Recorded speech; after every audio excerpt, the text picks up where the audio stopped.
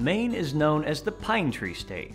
Personally, I would have called it the Lobster State, but it's true, Maine does have beautiful pine trees, as well as beautiful lobsters. Much of Maine is forested, but between the thousands of lakes and rivers and the Atlantic Ocean coastline, residents of Maine spend plenty of time on the water. All along the jagged southern coastline of Maine, there are over 50 lighthouses, protecting both the commercial and recreational sailors traveling the Atlantic waters. The Portland Head Light is the oldest lighthouse in Maine. Construction started in 1787 at the behest of George Washington and was completed in 1791.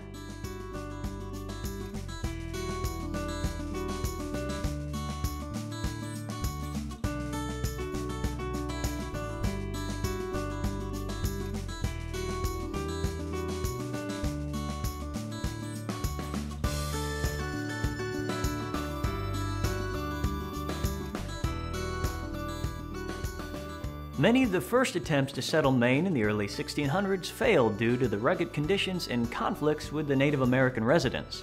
Smallpox and other illnesses carried off many of the natives.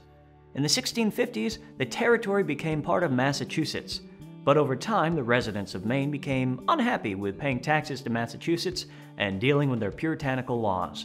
In 1819, Maine voted to secede from Massachusetts. On March 15, 1820, as part of the Missouri Compromise, Maine became the 23rd and easternmost state of the Union.